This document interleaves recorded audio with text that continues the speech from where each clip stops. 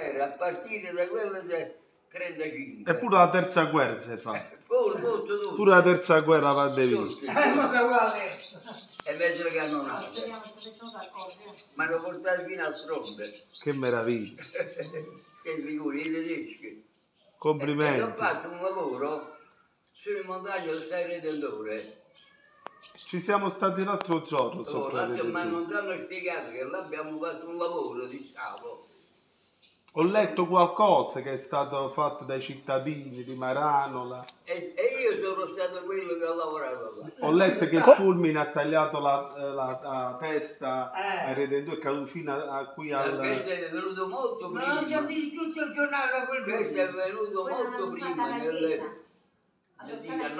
19. Eh, 19, 1919. ah sì. Eh, È venuto molto prima la testa del Redentore che è caduta giù, poi è stata trasportata a casa, Sì, sì. rimessa a posto e come io. Ma io ti sto parlando adesso, quel lavoro lassù l'abbiamo fatto nel 1943. Ah, È stato Con la fatto... guerra in piena, con i tedeschi, Mamma mia. è portato a lavorare i tedeschi. Quindi abbiamo, abbiamo anche un protagonista di quello Che che... aveva allora, che aveva allora 16 anni. Una vecchia guerra. E mi hanno La messo Marcello Pleomato, quella d'aria complessa, a scavare sta buca. È stato Abbiamo faticoso, fatto- eh? Abbiamo fatto un cunicolo che è 7 metri e 50 di lunghezza, 1,30 di altezza e 70 di larghezza. E ci sta ancora, ci sta. Esiste, appunto dico, quando vai, andate a vedere questo fatto. Eh, Ormai questo resta, come si dice, nella storia mondiale, e- e nella storia che non finisce più. Quindi dove si trova esattamente? Dove- Allora si trova, se guardate, versato le spalle verso mare, e guardate, Oh, e che l'ha fatto uno? e guardate verso la destra, che tu da c'è tutti i 100, modi. E 200 quindi ti fa la metri. C'è una parte del rapito di materiale che abbiamo noi cacciato da di quello scavo. C'è di fuori, ma si domanda da parecchi meravigliosi che hanno letto e poi io ho detto pure, andate a vedere là, è una cosa che è- esisterà nei secoli. È una cosa che esisterà perché i tedeschi volevano Ah, creare quella, da quella buca, sfondarla dal mare per avere una posizione da migrare. Quando gli aerei arrivavano li abbattevano sicuri. Capito? Doveva essere una postazione aerea. Sì. Ciao. Grazie per questa bellissima testimonianza. Eh. Abbiamo fatto là. A seduti per terra e, e tirare fuori quel brecciame e buttarlo così. Ah no, che lavoro. Eravamo in tre. In tre eravamo. Poi gli altri due sono morti tutti e due. Eh, E vai la mia pure. E, Eh, età. E, e ci sono rimasto solamente io. E per aggiunta Marano sono il secondo. Il primo che ha, Oh, oh, che ha 4 spostiamo. mesi più o meno e c'ha 90, circa 96 finito. E io so, fra poco finisco 96. Complimenti. E fra poco festeggiamo i 100.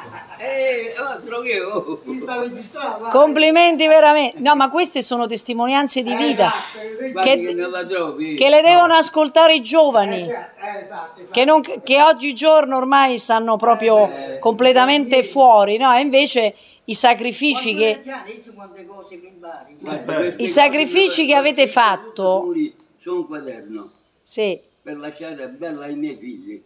Che in modo E ci devono fare un, un libro Eh, in modo- e poi se la vedono loro queste cose. Eh, eh beh, Io certo. gli do- il quaderno ce lo lascio perché è tutto scritto. bravo. Di tutte le vendite, perché non sono stato solo là, mi hanno portato sempre a diverse parti, fino a fronte. Pensi, quando il fronte sa di, di Cassino stava fermo, eh, noi andavamo a lavorare, sotto proprio dove stavano gli altri, tra americani e tedeschi, dovevamo riparare le strade, che le cannonate facevano delle buche. E i carrettini doveva portare i viveri a fronte e non potevano passare per le buche. E noi con una tanta pazienza e un'attenzione zitti, zitti, non si parlava. Dovevamo abbiamo una pietra così eh, e lasciarla. Fino a che portavamo il piano regolare. Quando la notte, verso la mezzanotte, arrivava su un carrettino che portava i viveri con i cavalli. I cavalli portavano i tamponi di gomma sotto i piedi. e il carrettino aveva tutte le ruote in gomma. Passava, era come un fruscio di vento che stava arrivando e andava a portare eh, il pranzo ai tedeschi che stavano Che meraviglia. fronte come postazione. Che meraviglia. E invece, invece di questa guerra che ne pensa? Di, di questa qua. Eh. Mi ha fatto veramente tutti i sacrifici che ho fatto Eh, io. è vero, è vero.